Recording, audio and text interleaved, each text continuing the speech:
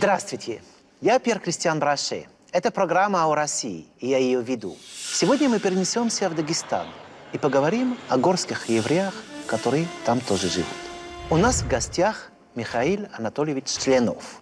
Он этнограф, профессор, он еще и кандидат исторических наук. Михаил, добрый день. Давайте посмотрим сразу наш первый сюжет. Здравствуйте, Пьер.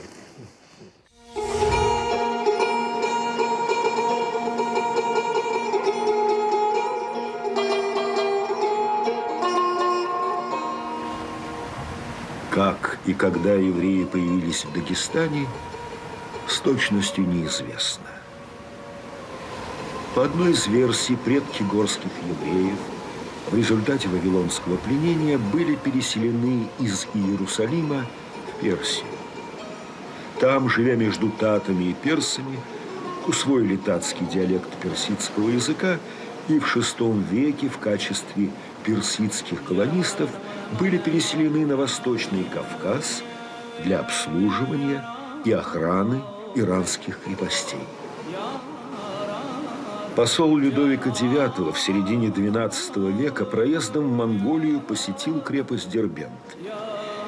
Описывая город и его окрестности, он отметил в своих записках, что вся местность густо населена евреями. Ну вот, на ваш взгляд, евреи – это что? Это народ, это культура, это цивилизация? Я так понимаю, что есть разные точки зрения. Замечательный вот вопрос, Пьер. Сложный, конечно. Я просто, на самом деле, вот восхищен вами, как вы сердце, душу народа вы за полчаса умеете схватывать. Я не столь талантлив, но попробую. С моей точки зрения, евреи – это цивилизация. Я написал несколько работ на эту тему. А хотя бы потому, что евреи состоят из множества разных отдельных этнических групп, которые как бы аналогичны народам, допустим, в рамках христианской цивилизации или мусульманской или дальневосточной.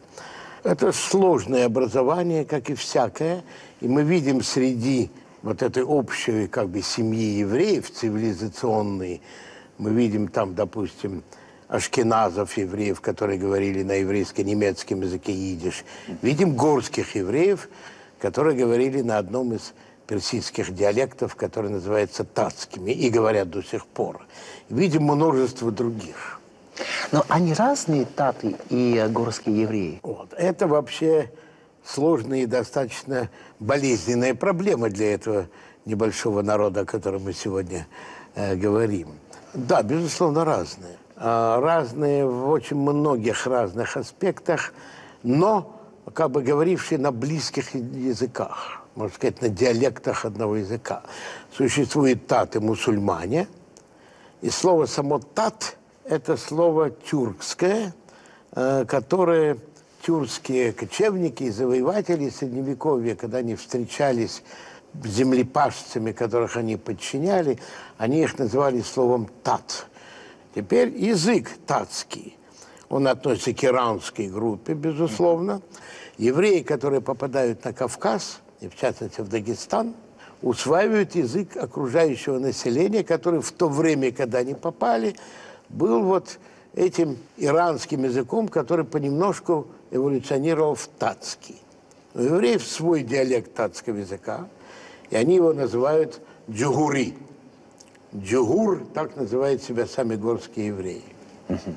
Значит, в, в этом э, фильме мы видим, что и мы слышим, что неизвестно, когда они вообще появятся в, э, в Дагестан. Так и есть? Мы не знаем точно. У нас, к сожалению, нет точной квитанции. Или вот сегодня я зафиксировал, что первый такой-то, там, я знаю, Авшалом появился. Конечно, нет. Что можно сказать? Горские евреи принадлежат к большой семье иранского еврейства – и иранские евреи вообще, да, имеют весьма солидный возраст. И можно полагать, что и дагестанские тоже. Полторы тысячи лет, по крайней мере. Давайте посмотрим наш следующий сюжет, потому что мы говорили о Дагестане. Есть город, где в основном а, все произошло, это Дербент.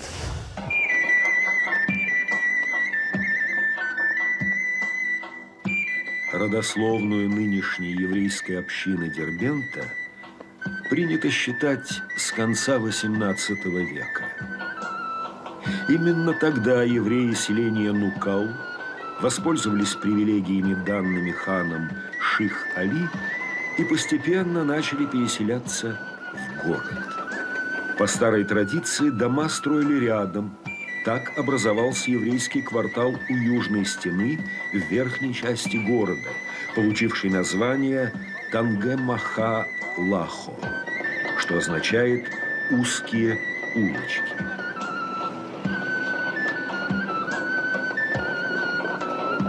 В Дербенте евреи скупают виноградники и землю для их создания, но при этом еще покупают виноград у мусульман, которым религия запрещает делать и употреблять вино.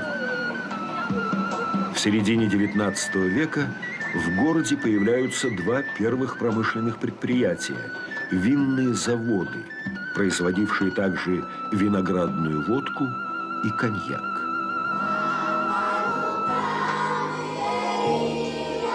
Появляется новая еврейская община со своими обычаями, синагогами и другими еврейскими учреждениями. Дербент становится общественным и духовным еврейским центром Восточного Кавказа. Ну вот какие взаимоотношения были между евреями и другими народами, которые живут в этом регионе, где очень много народов, в конце концов, живут? О, да. Как мы знаем, этот регион один из самых мультинародных, можно, если Говорят, можно 36. Да. Кто-то больше, кто-то меньше. Дагестан, да. В течение многих вот веков э, горские евреи жили в мусульманском окружении, составляя часть, как я еще говорил, того, что можно назвать большим Ираном. И отношения, в общем, их были примерно такие же, как и в остальной части этого мусульманского мира. То есть на уровне личного общения – они были, я бы сказал, бы, достаточно дружественными. Мы знаем много случаев заключения кунатских союзов дружественных между евреями и их соседями, мусульманами. Но вместе с тем, конечно, евреи считались людьми второго сорта с точки зрения элиты феодальной, которая была там. И история горских евреев изобилует, к сожалению, большим количеством выселений, уничтожений, погромов, насильственных э, переходов в ислам. Сегодня в мусульманском мире осталось очень мало евреев. Горские евреи – одни из них которые как бы продолжают жить вот в этом окружении. Но они сначала живут э, под э, руководством иранских шахров, каком-то образом, и дальше меняется ситуация, поскольку появится Русская империя. Вообще ситуация изменилась? Или... Конечно. Конечно, да. Иранские шахи XVIII э, века устраивали колоссальные депортации, погромы. Когда появляется Российская империя, хотя, как мы знаем, это было далеко не самое дружественное евреям государство, но все-таки по сравнению, так сказать, с Надиршахом, то евреи начинают перебираться из э, вот района э, сегодняшнего Дербента и близлежащих районов Азербайджана Э, в русские крепости, которые начали строить русские, начиная с начала XIX века. Грозный, Нальчик, Темирхан Шура, сегодняшний Буйнакск, Моздок и так далее. А какие положения в, во время Русской империи у евреев и у, у горских евреев? Когда Российская империя э, включала в себя зону Кавказа и потом Средней Азии, немножечко погодя, то встал вопрос – что делать все время? Евреи должны жить в черте оседлости, то есть на территории сегодняшней Украины, Беларуси, Молдавии, Литвы и так далее, которая была отведена российским правительством для проживания евреев. И то вдруг они встречают евреев на Кавказе и в Средней Азии. Были даже такие головы среди министров и вельмож, которые говорили, давайте мы их оттуда переселим, допустим, там в Бердичев. Но это, конечно, было безумие, да, потому что там жили совершенно другие евреи и так далее, занимались другими вещами понемножечку царское правительство находило пути, они были непростые, сложные, как бы признавать за ними статус туземных евреев и, по крайней мере, не переселять их туда, где жила основная масса ашкеназов, то есть вот европейских евреев. Давайте посмотрим наш Давайте следующий посмотрим. сюжет. Родился я в Маджалисе. Дядя меня вырастил матерью вместе в пятом классе в школу механизации пошел, стал шофером. Всю жизнь работаю в одном и том же месте. Колхоз, совхоз, маджалистский. И в настоящее время тоже работаю. Танзурку марай бирарджан, алавни буцали, авадан чарх бук бирарджан, била чарг халкале. По национальности еврей, горский еврей. У меня у паспорта написано горский еврей. У нас некоторые пишут тат, некоторые пишут еврей, некоторые пишут горский еврей. А у меня написано горский еврей. А в настоящее время сейчас гражданин России. Родная земля, это значит, я здесь родился. Может, Аллах меня здесь и оставит всю жизнь. Сколько меня не даст жить.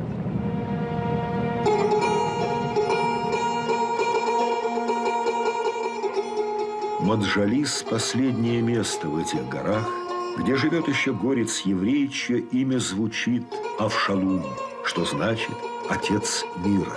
Родившийся здесь, вырастивший детей, женившийся на Даргинке, похоронивший в этой земле свою мать, он никуда не хочет уходить с этой земли.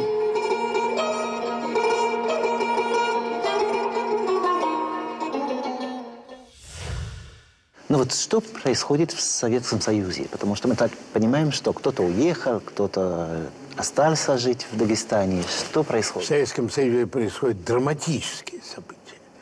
Совершенно нового, совершенно типа, именно с горскими евреями.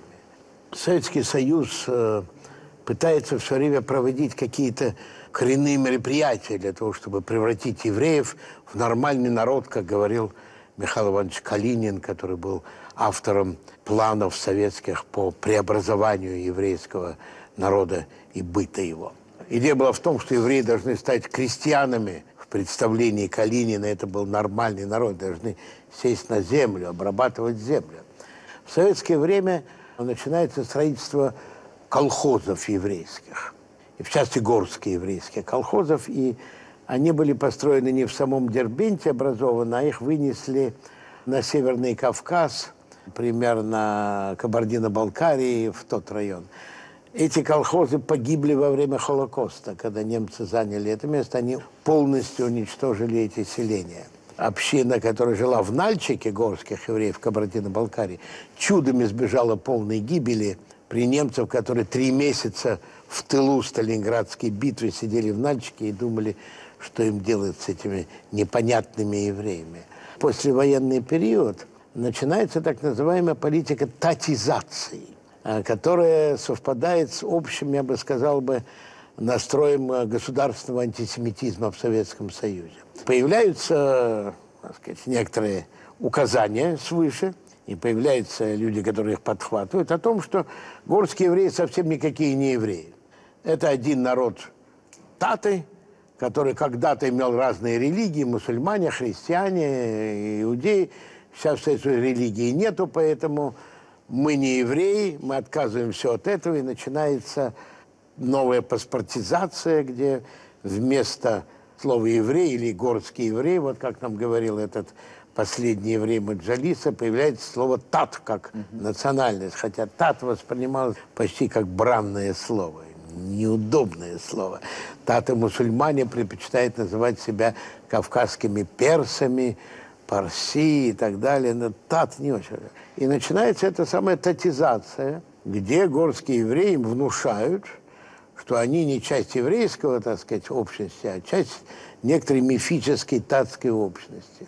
И дальше, значит, где-то уже начиная с 70-х годов, в основном по увеличиванию 80-е 90-е, начинается отъезд в Израиль. В Москве, ну, по разным подсчетам, очень трудно сказать точно, живет порядка 20-25 тысяч горских евреев. В одной Москве есть примерно 6 или 7 горско-еврейских синагог. Не вообще синагог, а горско-еврейских. Они отдельные. Отдельно. Или это зал в больших синагогах, А почему? а потому что у них есть своя особенность литургии. Э, понимаете ли, ну, что значит почему? А, возьмем, допустим, более близкий вам, скажем, христианский мир. Есть православие, есть католицизм, есть различные виды протестантского движения. У них же церкви разные, не то, что они все ходят в одно. То же самое здесь. Особенности сефардской литургии, которые именно горские евреи, а, они имеют свой ряд каких-то других чтений молитв, например, обычных. Это, в принципе, те же самые, но с другими акцентами, могут быть, с другими словами. По-разному люди сидят, по-разному люди одеваются. Скажем, в горских еврейских синагогах принято снимать обувь, например, а ашкенадские входят в обувь и так далее. Горские евреи на Восточном Кавказе всегда вели общинный образ жизни. В селении Нюгди, что в долине рядом с Дербентом, еще сохранилась община из десяти семей. Здесь строят одноэтажные каменные дома – Двор дома огораживают высоким каменным забором с большими железными воротами. Если есть возможность, во дворе всегда будет сад и беседка, и обязательно будет навес, под которым поставят печку, танур. Если у твоих соседей нет танура, то дать им возможность испечь на ней хлеб считается мецвой, то есть добрым делом. Ну, связь если просто позвонить, мне ладно. Ну, вот поскольку э, горские евреи очень сильно связаны с э, природой и с э, землей, они все-таки какие-то праздники там использовали или, или приняли как которые праздники э, сезонные, праздники связанные с природой? Вообще иудаизм как религия – он базируется на определенном комплексе праздников, которые приняли и городские евреи, естественно, как иудеи. Все эти традиционные праздники, они возникали еще в Древнем Израиле, где евреи в основном были земледельцами. И поэтому все праздники, такие как Пейсах, то есть Пасха еврейская, такие как Шавуот, например, Пятидесятница условно, Суккот, они все привязаны к земледельческому циклу. Удивительная вещь. Евреи две тысячи лет не занимались земледелием, но сохраняли земледельческую традицию в праздниках. Mm-hmm. То же самое у э, горских евреев.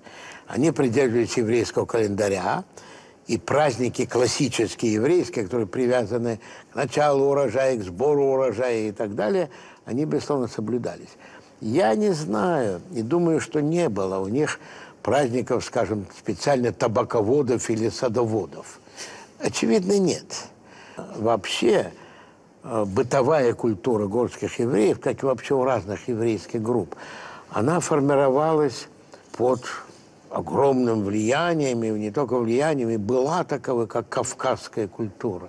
Они являются, безусловно, кавказским народом, не только евреями. Это не чужеродное тело среди кавказских народов. А это влияло на, на, структу, на структуру семьи? Ну, в определенной степени, конечно. А, хотя семья тоже в целом, семейный быт вот, еврейский, был близок к мусульманской части Кавказа. Угу. А, горские евреи были, не соблюдали моногамию. Сегодня практически соблюдают все. Потому что в Израиле принята моногамия, и в России принята моногамия и в Соединенных Штатах, но до недавнего времени сохранялись полигамные семьи. То есть количество жен у мужчины не было определено не четыре жены, как у мусульман, а просто более чем одна. И еще в середине 20 века мы встречаем это нередко. Сегодня центр, наиболее активный центр переместился из Дербента в город Куба в северном Азербайджане. Это близко от Дербента километров 50-60, наверное, езды, э, не больше. Но там сейчас существует поселок, который населен только горскими евреями. Больше там никто не живет.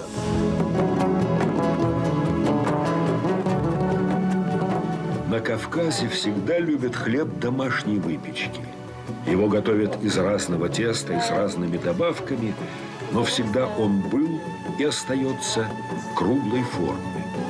Каждый раз, когда в еврейском доме хозяйка начинает катать тесто для приготовления хлеба, от всего теста отрывается несколько маленьких кусочков и бросается в огонь. При этом звучит благословение. Делается это в честь разрушенных святынь храмов.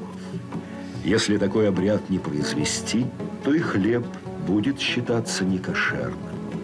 Традиции горских евреев запрещают выбрасывать маленькие кусочки хлеба. Большой грех выбрасывать даже хлебные крошки. Все должно быть собрано для домашней птицы и животных. Если нет хозяйства у самих, значит, надо отдать остатки соседям. Хлеб ломают только руками. Резать его металлическим ножом запрещено. Увидев кусочек хлеба на дороге под ногами, еврей должен поднять его, поднести к глазам и положить на возвышенное место. Если человек так не сделал, значит, он совершил тяжкий грех. Часто соседи в целях экономии собираются вместе, чтобы испечь хлеб, так как на разогрев танура и поддержание в нем тепла уходит много дров. Хлеб стараются печь в пятницу, чтобы в субботу он был теплый и свежий. После этого в теплый танур ставят кастрюли с едой для субботы, дабы не нарушать ее святость. Ну вот, слово «кашрут». Давайте нам чуть-чуть объяснить, что это. Давайте поговорим о слове кашрут. Слово кашер, глагольный корень в языке иврит, означает разрешенный, подходящий для чего-либо. Для чего угодно. В данном случае для еды.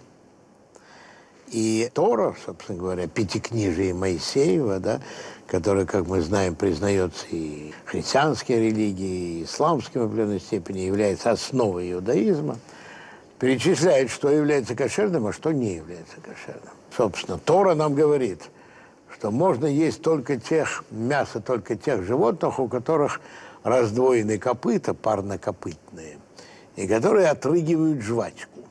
То есть крупного рогатого скота и мелкого. Здесь коров, говядину и баранину, и вот козлятину. Все остальное непригодно. Теперь, ну что, э, еврейское кошерное правило запрещает смешение мясного и молочного. Скажем, бутерброд с колбаской и с, с маслом, который так любили московские дети есть по утрам перед ходом в школу, для евреев немыслимо. Но они же живут на Кавказе, где именно смешение э, молочных э, продуктов и с мясом каждый день. Правильно. И этим отличается, безусловно, кухня евреев от кухни, скажем, окружающих их мусульманских народов, лезгинов, э, табасаранцев, азербайджанцев и так далее. Безусловно. На шаббат, как и везде. И здесь нет разницы между э, горскими евреями и э, евреями. И евреями другими, Другими. назовем так. А, смотрите, а, значит, я уже, мы начали с того, что евреи – цивилизация, да, и существуют определенные цивилизационные моменты. Шаббат – это один из важных элементов еврейской цивилизации. Как говорят, шаббат сохранил еврейский народ. Да. А Поэтому, безусловно, шаббат у всех еврейских групп, которые мы знаем, Да. эфиопских, французских, испанских, индийских, и так далее, шаббат – это первая святость. Шаббат считается самым главным праздником. Другой вопрос, как именно надо справлять шаббат. Вот, например, у гурских евреев на шаббат принято было, ну, это не обязывающий обычай, но приличный, распространенный, принято было дать и рыбное, и мясное блюдо. А у европейских евреев, например, а, знаменитая фаршированная рыба. Да. Именно, ры- именно рыбная, да. А горские евреи через сто лет будут себя звать евреем или горским евреем? Евреи обычно говорят, что пророческий дар был Всевышним отнят у евреев две с половиной тысячи лет тому назад. И мы боимся делать пророчество. Но я могу сказать, что уже сегодня уже они не называют себя горскими евреями. И сами никогда не называли, только по-русски бытовало это слово, и по-азербайджански, может быть, дакчуфут. Они называют себя евреями, просто джугур, джугури. Но любопытно, что если в России они известны на русском языке как горские евреи, то в Израиле они не называются горскими евреями, они называются кавказскими евреями. Иудей Кавказ. Причем любопытно, опять же, израильтяне, как и многие другие, не очень сильны в географии за пределы своей страны. И немногие отдают себе отчет, что Грузия – это тоже часть Кавказа. И поэтому у них есть представление грузинские евреи и кавказские евреи. Кавказским евреем называют горских. Спасибо большое. Сегодня мы побывали в Дагестане, в Дербенте, и поговорили о горских евреях. А Михаил нам открыл очень много секретов этой культуры, еврейской культуры в России. Я еще много буду вам рассказывать и о других народах России. Ах, скоро увидимся.